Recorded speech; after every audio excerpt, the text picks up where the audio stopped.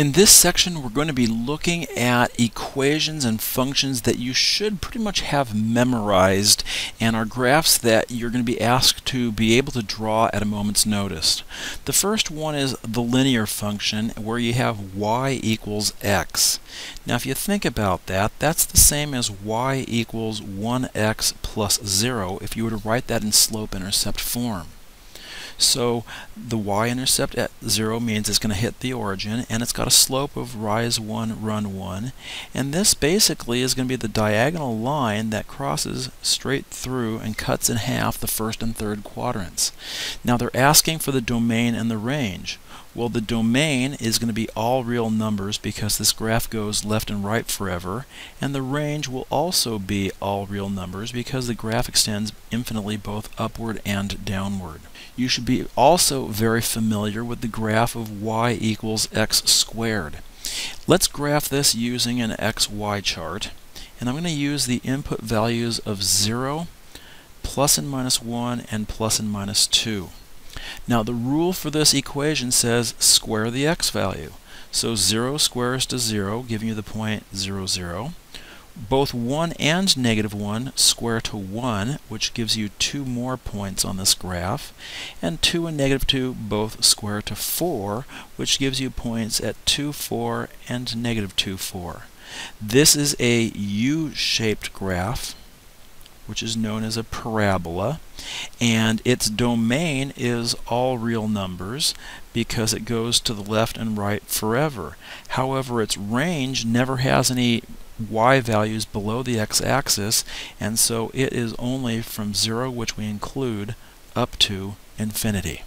The cubic function, also known as y equals x cubed. 0 cubed is 0, 1 cubed is 1, negative cubed is negative 1 cubed is negative 1. Those are three key points on this graph. At which point the graph gets very large very quickly and very small very quickly, and that becomes the graph. The domain is all real numbers because it extends left and right forever as it's going up quickly, and the range is also all real numbers.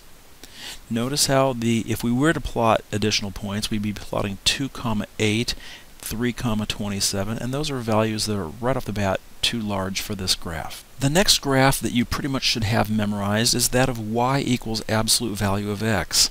This is just going to be a V-shaped graph which extends into both the first and second quadrants. It goes through the point 1, 1, 2, 2, 3, 2, and negative 1, 1, negative 2, 2, etc. What is its domain? Well, it extends forever to the left and the right, so its domain is all real numbers, and its range can only be 0 and above, so the range will be 0, which we include, to positive infinity. y equals the square root of x. Now if you think about this, the square root of 0 is 0, square root of 1 is 1, square root of 2 is 4. So this graph is going to go through 0, 0, 1, 1, and, sorry, I should have said the square root of 4 is equal to 2. Let's go there, 4, 2 and we get a sideways half parabola. There can never be a negative value input into the square root, and the square root must always be positive, so we can't have anything down below the x-axis. So our domain is going to go from 0, which we include, up to infinity, and the range will also be from 0 to infinity.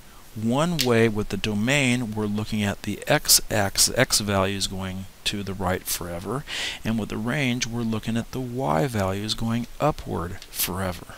For the reciprocal function, basically, well, let's look at an xy chart. You cannot substitute in 0, but if you substitute in 1, 1 over 1 is 1. If you substitute in 2, you get 1 half.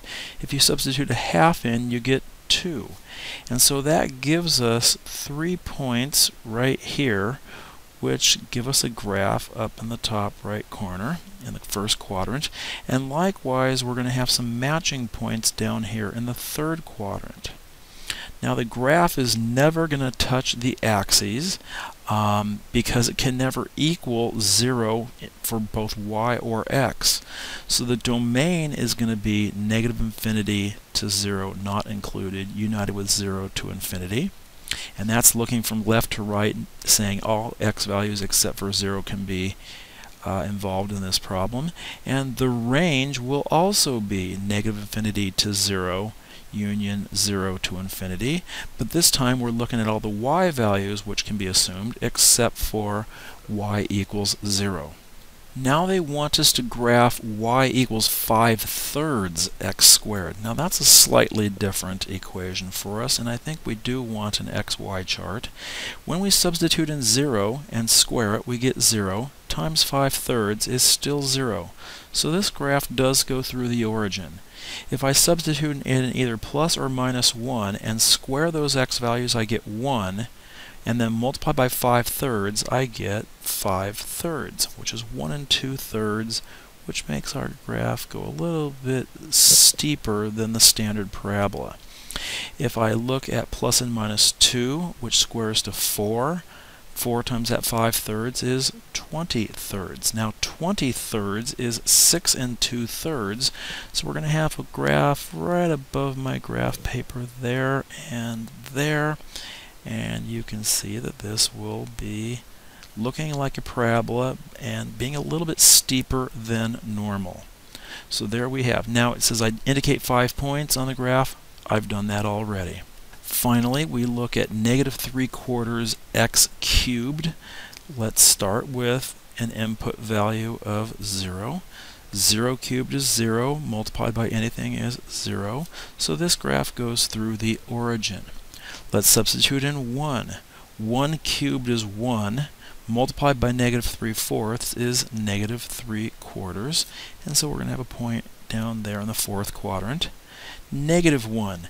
When we cube the negative 1, we get negative 1. Multiplied by negative 3 fourths gives us positive 3 fourths, and so we have another point right around there. Let's try 2. 2 cubes to 8 8 times negative 3 fourths is negative 6. So 2 negative 6 will be on our graph. I'm going to zoom down there. And we're going to have negative 2 positive 6, which is up here. So hopefully you can see those two points. And it's going to look like the cubic graph we saw earlier, except it's going downward from left to right instead of upward from left to right. Remember that the standard x cubed graph looked like this. Okay, and I probably could have drawn this with a little bit of a flatter center to give it a smoother curve, but um, I think you get an idea of what this graph looks like.